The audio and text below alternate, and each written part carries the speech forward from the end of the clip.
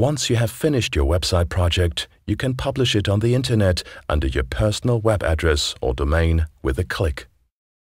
Use the preview function to test your website in your website browser before publishing it online. Click Preview in the top right edge.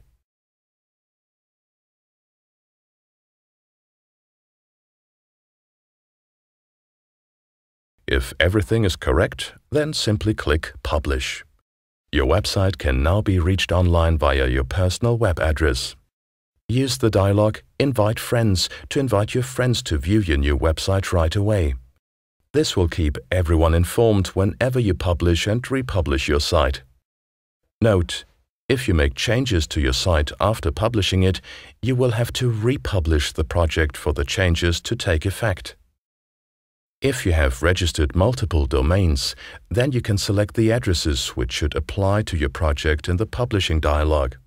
Just activate the checkboxes on the left side and then click Publish.